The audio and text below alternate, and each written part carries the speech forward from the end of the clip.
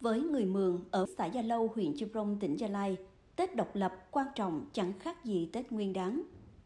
Đây là dịp để bà con thể hiện nét văn hóa đặc sắc của dân tộc và lòng biết ơn đối với đảng, nhà nước, Bác Hồ kính yêu đã mang đến hạnh phúc ấm no. Đến xã Gia Lâu vào những ngày này, khắp các thôn làng được trang trí cờ hoa rực rỡ.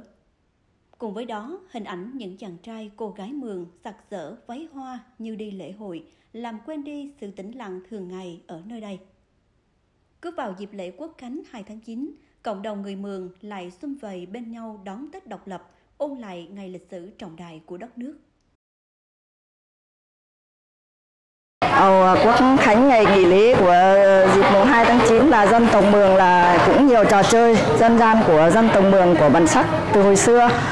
Nhưng mà đi vào đây làm kinh tế cũng ờ, không thể mai một được vì chị em chúng tôi tổ chức là giao lưu những cái tiết mục là trò chơi dân gian như đánh bảng, ném còn, rồi là bóng truyền, bóng đá. Nhưng mà riêng chị em phụ nữ chúng tôi là không phân biệt nam hay nữ, cô 50, 70, 75 vẫn có thể chơi được, với là trẻ con. À, từ 6 tuổi trở lên vẫn chơi được. Kiểu dân tộc Mường là trò chơi dân gian đánh bảng này từ xưa rồi. Nét đẹp văn hóa này được người Mường mang theo từ Hòa Bình những năm 1990 và dù ở nơi đâu họ cũng không quên những gì cha ông truyền dạy về ngày Tết độc lập của dân tộc Việt Nam.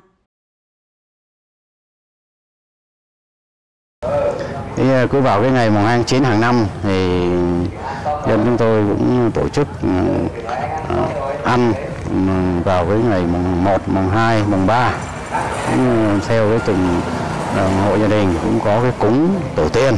Nhớ lại cái cái ngày truyền thống đó. Một hai nữa là về cái tổ chức trò chơi dân gian ở cái địa phương của chúng tôi thì cũng duy trì. Ngày xưa là có cái cái đây là nói là tùng mảng tùng mảng là là nó từ trong rừng nó mọc lên là đi lấy về là làm trò chơi đánh cái này đấy. Giống như là thể dục thể thao khỏe người ấy.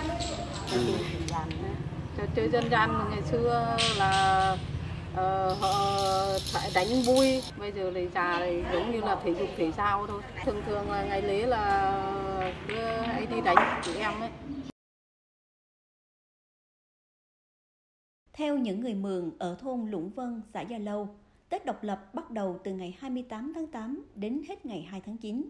Tùy điều kiện mà các gia đình mổ heo, mổ gà, thết đãi anh em con cháu. Những đứa con đi làm xa về cũng được bố mẹ ưu tiên nấu những món ngon truyền thống và cùng mời họ hàng, làng xóm đến dự bữa cơm thân mật. Ờ, à, Tết độc lập cổ truyền đấy thì trên địa bàn xã Gia Lâu nói ờ, riêng mà toàn địa bàn ờ, huyện Chư Đông nói chung. Thì cứ đến ngày này tháng này thì uh, xã cũng tổ chức cái, uh, các hoạt động phong trào uh, văn hóa giao lưu văn hóa văn nghệ thể dục thể thao rồi là các cái uh, trò chơi dân gian mang cái truyền thống của dân tộc phía Bắc. Trong đó có người Mường, người Tày, người Thái, người Mường vân vân.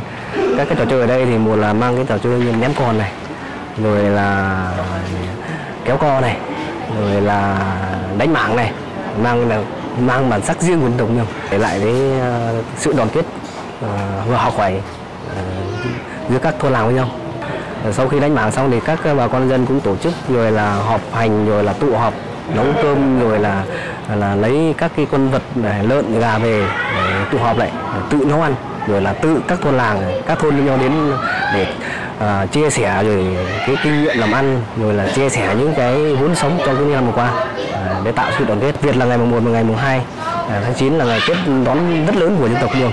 Ngày Tết thì con cháu rồi giờ tư làm ăn xa từ các địa phương về sum họp rồi tình làng nghĩa xóm gia đình nhà này đến ờ, chúc mừng rồi thăm nhà kia để ờ, chôn lại cái truyền thống. Rồi đặc biệt là cái Tết độc lập.